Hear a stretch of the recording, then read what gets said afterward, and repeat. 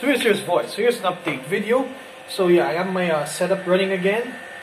And yeah, we can't read the current now, but it's pretty low. So here's the new chloralkali cell using a EDM graphite uh, anode and uh, cathodes are two stainless steel rulers that have been copper plated. I have a pump here that's recirculating water into the jacket. This is using the new uh, 112 uh, ceramic composite membrane. Here's my liquid trap.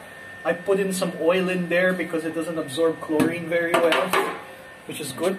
This whole thing is water cooled because what I'm doing right now is I'm destroying the leftover chlorates in the perchlorate by using a UVC photochemical reactor by pumping in some chlorine and hydrogen which will uh, convert into hydrochloric acid.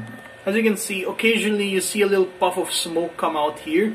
That's the HCl vapor. Let's just watch it. It's just very occasional. It doesn't happen all the time.